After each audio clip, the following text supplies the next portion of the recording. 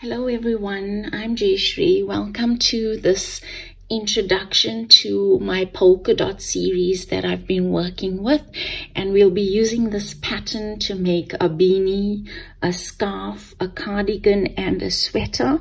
I'm hoping that you're going to enjoy it just as much as I did. So the purpose of this introduction is to show you how I go about forming these polka dots and to just explain to you my thought behind it and the yarn that you would need. Now for my um, pattern, uh, especially with the cardigan and sweater, I used a category 4 yarn, which is a worsted weight. Now it's a thicker yarn. And the thing to remember is you need to use the same weight of yarn or category of yarn throughout the pattern. That means you cannot change from a worsted weight to a light worsted or like from um, category 4 yarn to a category 3. It's got to be a category, in my case, for the a sweater and cardigan, I used a category 4 yarn throughout the pattern. That even those polka dots that I formed was the same weight of yarn. Now, by all means, you can go ahead and use a double knit, which is a category 3 light worsted yarn like I have here. But the thing is, you need to make sure that all your different colors are in the same weight. For a category 3 yarn, I would use a 4 millimeter hook. For the category 4 yarn, I'm using a 5,5 millimeter hook. So to begin with the swatch, we'll form a slip knot. Then it's chain 11. So one, two, three, four, five, six, seven, eight, nine, ten, eleven. Round one into the fourth chain from the hook, double crochet. One, two, three, four.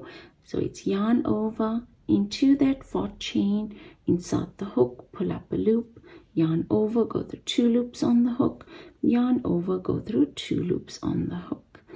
And then Continue with double crochets to the end of the round.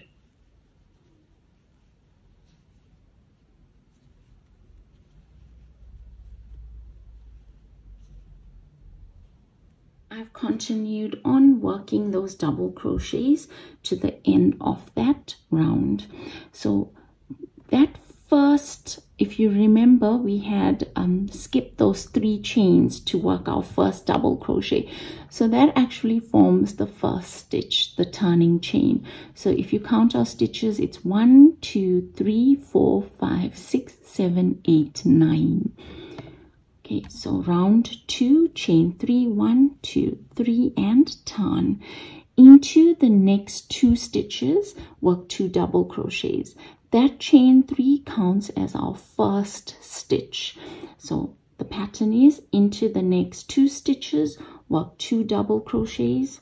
So here's my first and my second. For the second stitch I'll leave it unfinished because at this point I'll start forming the polka dot pattern. I'll bring in here's my next skein of yarn and I haven't cut off any lengths of yarn. This, this, this swatch is going to give me an indication of the length of yarn that I need for my pattern. I'll take that and I'll form a little loop. I'll bring in the hook and I'll complete my stitch with that color, change of color. Now here there's two different ways of working the pattern. You'll notice that I kept um, my my patterns have a distinct right side and a wrong side because you will see like tail ends sticking through on the wrong side. But um, I will show you another way in which you don't see as many tail ends on the wrong side. So for the way that I work the pattern is I pushed all these tail ends, including my original color, to the back without cutting off anything. and then into the next three stitches work three double crochets with this change of color so that's one two three and then I'll leave that last stitch unfinished so I have two loops on my hook and I'll push this tail end right to the back and I'll go back and bring bring my original color forward. So I'll thread that through to complete the stitch. Now if you look at the back here's my original color and the tail end. Now that will remain this way throughout the pattern unless you want to change it and I will show you a way to do so. Um, let me just continue with this. Into the last three stitches work three double crochets in the original color. One two and my last stitch is worked into that third chain from our turning chain so round two is complete and I have all my tail ends at the on the wrong side of the pattern. So if I can just go back just to show you here how to lose that that tail end. So I'll go right back and here I have it. I've changed the color of my yarn. So I'll keep this tail end to the back of my pattern because that will have to be woven in. And I'll pick up on my original color laying it flat with my stitches. And now I'm working with my change of color. So into those next three stitches I'll work my three stitches but I'll keep that tail end of my original color in place so that it's worked into the pattern so here goes. Two and three. I'll leave that stitch unfinished and at this point I'll push back on my change of color and I'll bring through my original color. I'll bring it through those two loops to complete the stitch and then I'll finish off my three stitches in my original color one two and three.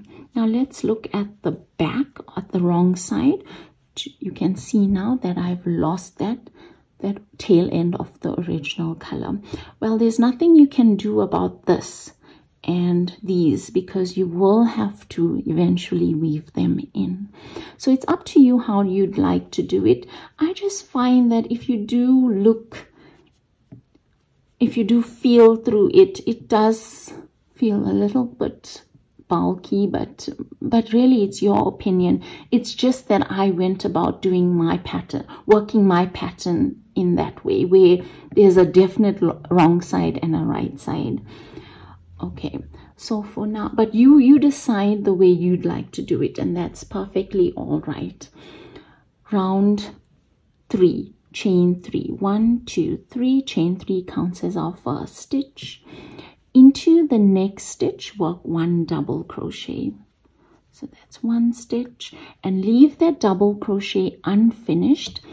Bring bring forward on your original color because this is the wrong side that we're working on. And you'll pick up on that tail end of the change of color. So you'll thread it through to complete the stitch. Then into the next five stitches work five double crochets. So it's yarn over. And you'll notice that I'm making certain that all these tail ends are on the wrong side. Like I'm not going this way about and showing, bringing that to the front. I'm keeping it at the back and I'm only going into the stitch. So that was one,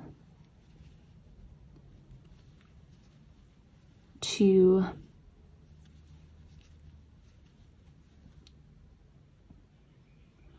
three, four, and 5 and I'll leave the last stitch unfinished I'll go back, make certain that this tail end is on the wrong side, go back to my original color, pick up on it to complete the stitch. Into the next two stitches, work two double crochets. So that's one, and into that third chain from the turning chain, I'll work my last stitch. So that was two. Round four, one, two, three, and turn. Into the next two stitches work two double crochets. So that's one and two. Leave that stitch unfinished. Keep your tail end at the back. Pick up on your change of color. Bring it through to complete the stitch into the next three stitches work three double crochets so that's one two, and three. Then I'll leave that unfinished, push back this tail end on the wrong side, pick up on my original color, bring it through to complete the stitch. Into the next three stitches, work three double crochets.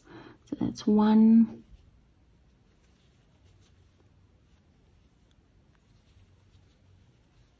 two, three. And that gives us our polka dot pattern. You may have to stretch it out a bit just to get the shape right. But that's the pattern we'll be using. So now the whole idea, like I said, the whole idea of the swatch was to give us an idea of the length of yarn that we need to form this polka dot. As I know it was a lot of work, but unfortunately we will have to open the whole thing up. So here at this point, I need to cut off on my change of color. I'll leave the, the, the original as it is because I can go ahead and reuse that. It's not like it's a waste. Nothing is a waste for the swatch we will be using it the whole i would suggest that you do leave a longer length behind because that just helps with sometimes uh, you may find that when you bring in yarn and things you you don't want to be left with a too short tail end. So i'm leaving behind a longer length. It's about i'll leave behind about eight inches from there to there. So that's my tail end that I'll leave behind and I can trim off on that piece. Now if I open up the whole thing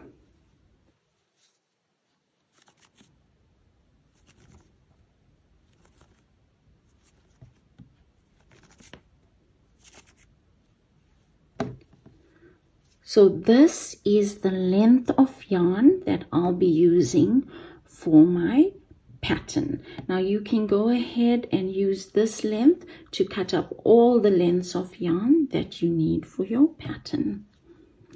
And well, that was the purpose of this tutorial.